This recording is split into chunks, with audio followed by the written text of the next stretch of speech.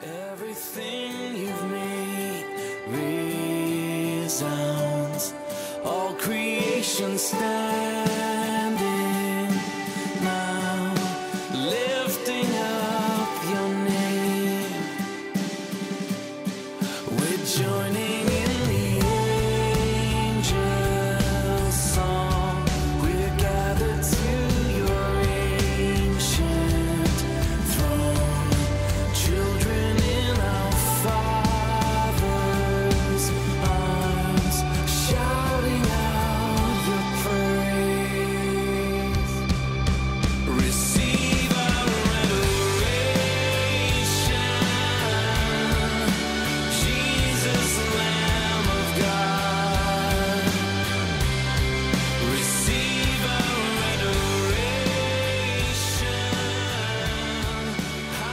Morning, church. Welcome to another Living Stone Calvary Chapel huddle. Glad to have you guys here with us. Um, you guys heard there's announcements on Sunday, and so we're just going to go back over those again. Um, church next uh, this Sunday coming up is going to be out in the amphitheater. We're excited about that. It's going to be awesome. That's at 10:30, not 9:30. 10:30. Combined service. Combined service. So be great if you guys can show up. Don't forget to bring your chairs, your camping chairs, whatever uh, comfortable chairs, or we have our metal chairs for you as well. So that's 10:30 Sunday, and then our men's study is starting back up. So on May 1st in the morning at 7:30, guys, we'll be meeting here at the church, and then also on Thursday at May 7th at 7 p.m. here at the church as well. Two different men's studies. So hopefully you guys can get plugged back in there. Uh, any questions, uh, contact Chuck. We're here at the church. We'll let you know. Also, women's study is going to be starting again um, May 7th on Thursdays, um, 12:30 in the afternoon, and also at uh, 6:30 at night. The women, Vicky was the one to contact there, or again here at the church. And the last one is is the youth group. Uh, we will be having the middle school on the 5th, which is the Tuesday, at 6:30 down at the bridge, and then also the high schoolers the next day, Wednesday, uh, the 6th at 6:30 down at the bridge. And so this is exciting, guys, getting to be back together, and uh, just keep praying for each other. And yeah, um, I'm looking forward to it. So it'll be really good.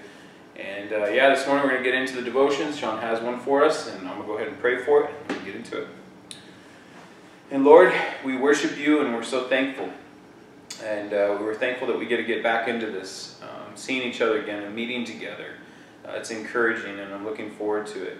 Uh, we just thank you for all the provision, Lord, and uh, just healing those that need healing. Continue just to lift up the sick to you, Lord, and your perfect ways of dealing with what you want to do with them in their lives and how you grow us closer through that, Lord. And we praise you for that. Just thank you for your word and how awesome it is, and it's just it's so great for any time, Lord, and it's powerful and living. We're so thankful that you have that for us. And so we just ask you just teach us this morning and uh, just show us what you want us to see in you and your character and, and how we can draw closer to you, Lord. We love you so much. Amen. Amen. Yeah, we're looking forward to being able to be with you guys on Sunday morning as a church family again in our amphitheater. Uh, we still want to uh, meet out there for a while, like I said on Sunday, to just kind of exercise some caution and uh, be a witness to our community that we're still uh, supporting the uh, effort to involve some social distancing.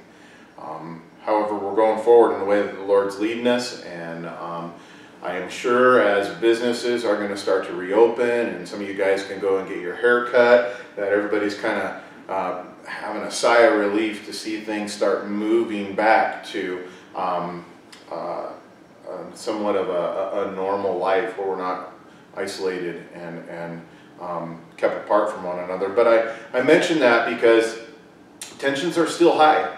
Um, and I probably don't have to tell all you guys that in, in marriage relationships and relationships and familiar relationships with the kids and and and um, uh, being stuck at home together, uh, it, it, can cause uh, tensions and and patience to run thin. And, and even out in uh, everyday society, I was crossing the road the other day in my truck and I pulled across the highway and it was it was not even close. It was like a quarter mile down the road and and and this, the, obviously the guy thought I had pulled out in front of him or something. He's honking and he's um, uh, waving to me, uh, and and usually both hands in the air, and and he was frustrated. And uh, I really just believe because everybody's tensions are high and patience are running thin. I even actually had an opportunity to talk to some brothers today that were um, having a dispute, uh, some Christian brothers, and. Um, and uh, they got it worked out and they were committed to doing so but the, the problem was a minor thing but it escalated i think because of tensions are high and patience are running thin. And then scripture gives us some encouraging words i think for us in light of that as we look at like curtis said the nature of god. And in 1 kings chapter 8 still in kings chapter 8 verse 23 it says this and he said the lord god of israel there is no god in heaven above or on earth below like you, who keep your covenant and mercy with your servants who walk before you with all of their heart. And, and I think it's safe to say that we all love mercy when it's directed towards us. for example, when the police officer who stops us for a traffic violation decides to let us go with a warning instead of giving us the ticket that we might deserve, we love that mercy that he shows to us.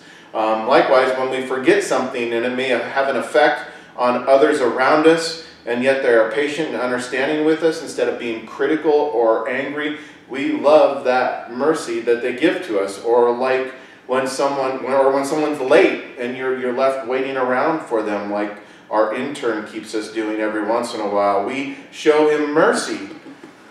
We love you, Luke. but even though we love getting mercy, you know what the truth is, is mercy is a, is a tough thing to give to someone else when they've wronged us or they've caused us harm. And for the most part, when someone does something that affects us in a negative way, we want justice. That's kind of our, our first reaction to want justice. We want the offender to pay for what they had done to make right the harm or the loss that we have occurred. In fact, we, we probably even take it one step further in our, in our sin nature. We don't, we don't just want justice, we want revenge. And uh, we want them to pay maybe even seven times as much uh, for what they have done to us. And fortunately for us, God, our God, our Father in heaven, does not possess this type of nature that we have. Our God is merciful towards us, even in regards, this is a cool thing as we read here in, in 1 Kings, even in regards to the promises that He has made to us. And we all know that if God's faithfulness to keep his promises to us were conditional to our faithfulness, then we would never receive what God has promised and we'd never be blessed by God. And this is because we're not always faithful like God is faithful, but God is merciful towards us. And when we do wrong or when we make a mistake or when we forget, we know that if we turn our hearts back towards God, he will pour out his mercy upon us. Remember in Lamentations chapter 3, verses 22 and 23, it declares this saying, The steadfast love of, of the Lord never ceases. His mercies never come to an end, and they are new every morning. Great is thy faithfulness. And, and this is the nature of our God. and this is the only reason why any of us are ever blessed. It's not because of who we are, it's because of who He is. Our God is merciful and we love his mercy, but we cannot forget, church, listen, we cannot forget that we are called to be like him. We are called to love, listen to that, we're called to love giving mercies to other others around us. Jesus instructs us of this in Luke chapter 6, verse 36, where he said, Therefore, be merciful just as your Father also is merciful. And then in Micah chapter 6, verse 8, it says, He has shown you, O man, what is good and what the Lord requires of you, but to do justly, to love mercy, and to walk humbly with our God. See, God has shown us what is good. And He's shown us what He's required of us by first demonstrating it to us and using our failures as an example to show us His mercy. So this morning I pray that we would choose to be like our Heavenly Father in those times when, when tensions are high and when patience are running thin, and that we would take the opportunities to show one another mercy today. And I pray that we would love mercy and see that mercy is better than justice and that mercy is certainly better than revenge. And so may the Lord keep you, and may the Lord bless you and keep you, and may the Lord make his face to shine upon you and be gracious to you, and may the Lord lift up his countenance upon you and give you his peace. In Jesus' name, amen.